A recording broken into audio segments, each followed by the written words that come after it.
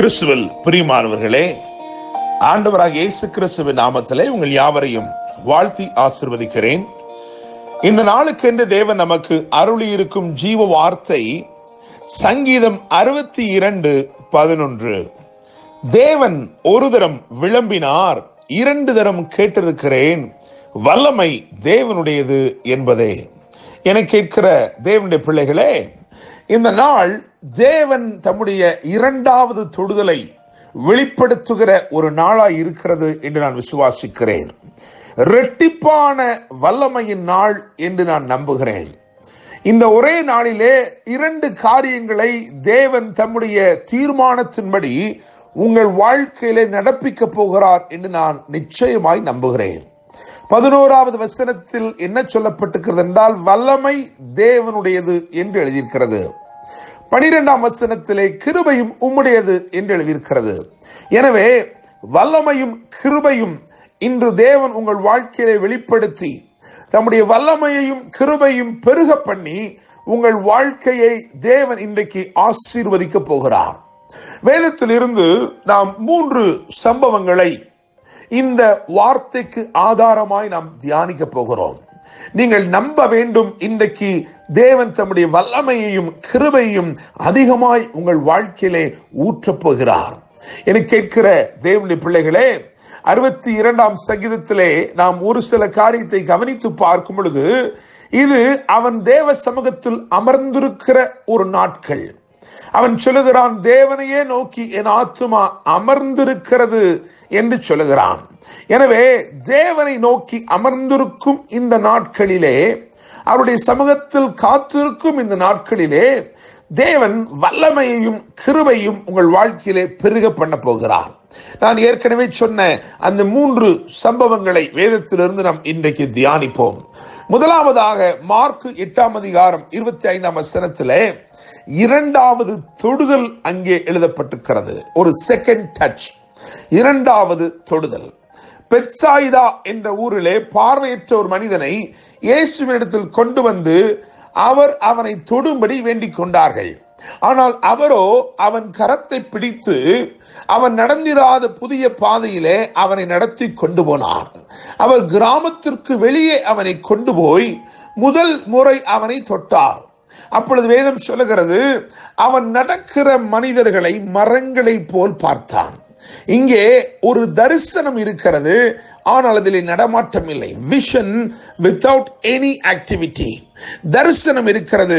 ஆனால் அதில் ஜீவன் இல்லை. என கேட்கிற தேவனுடைய பிள்ளைகளே ஏதோ ஒரு காரியத்தை நீ பெற்றுக்கொண்டும் அதில் ஜீவன் இல்லாமல் நடமாட்டம் இல்லாமல் இருக்கிறதோ இன்றைக்கு கர்த்தருடைய இரண்டாவது தொடுதல் தேவை. மார்க் எட்டு இருபத்தி ஐந்திலே அவர் மறுபடியும் அவனை தொட்டார். அப்பொழுது அவன் எல்லாவற்றையும் தெளிவாய் கண்டான் என்று எழுதியிருக்கிறது. எனவே எது ஜீவனற்றதா இருக்கிறதோ எது அசைவில்லாமல் இருக்கிறதோ அந்த தரிசனத்தை தரிசனத்திலே ஜீவனை தேவன் அருளுகிறார்.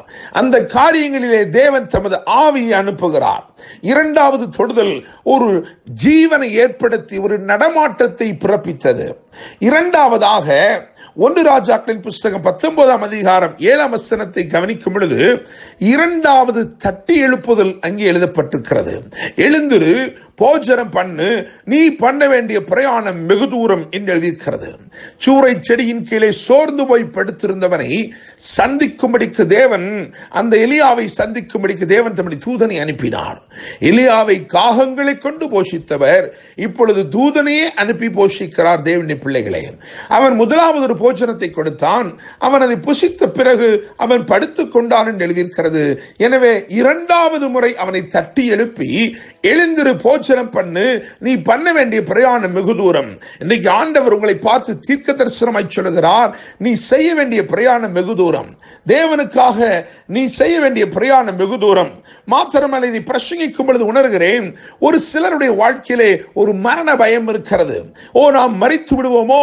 இந்த வருடத்தில் மறித்து விடுவோமோ என்கின்ற எண்ணம் உங்களுக்குள்ளே எழும்பிக் கொண்டிருக்கிறது. இன்னைக்கு ஆண்டவர்களை பார்த்து சொல்லுகிறார் பயப்படாதே.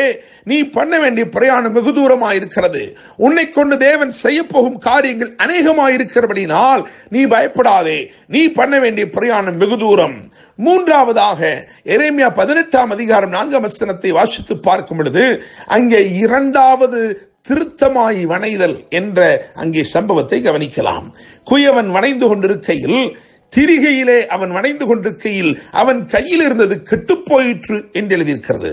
The problem in the process will be made perfect என கேட்கிற தேவனுடைய பிள்ளைகளே ஏதோ ஒன்றை துவக்கி அது தொடர்ந்து கொண்டிருக்கிற நேரத்தில் கெட்டுப்போய் இருக்கிறது என்று சொன்னால் அதிலே திரும்பமாய் தன்னுடைய கரத்தை வைக்கப் போகிறார். அவருடைய ஞானம் அதை இன்னும் அழகாய் இன்னும் அதற்கு மெருகூட்டி அதை எப்படி இன்னும் அழகாய் இன்னும் மேன்மையாய் இன்னும் மகிமையாய் நிறுத்த முடியுமோ அப்படி அவர் உங்கள் வாழ்க்கையில் இடைபட விரும்புகிறார். எனவே மூன்று காரியங்களை நாம் இன்றைக்கு தியானித்திருக்கிறோம். இரண்டாவது தொடுதல். இரண்டாவது தட்டி எழுப்புதல் இரண்டாவது திருத்தமாய் வணைதல். நான் நம்புகிறேன் விசுவாசிக்கிறேன். இன்றைக்கு தேவன் உங்கள் வாழ்க்கையிலே தம்முடைய வல்லமையையும் தம்முடைய கிருபையும் பெருக பண்ணி அற்புத அதிசயங்களாலே இன்று உங்களை அலங்கரிப்பார். நான் வாசித்த வசனத்தை திரும்பமாய் வாசிக்க விரும்புகிறேன். தேவன் ஒரு தரம் விளம்பினார் இரண்டு தரம் கேட்டிருக்கிறேன். வல்லமை தேவனுடையது என்பதை கத்தத்தாமே இந்த வார்த்தைகள் மூலமாய் உங்களை ஆசிர்வதிப்பாராக. என்று அன்புடன் pastor Daniel Moses God bless you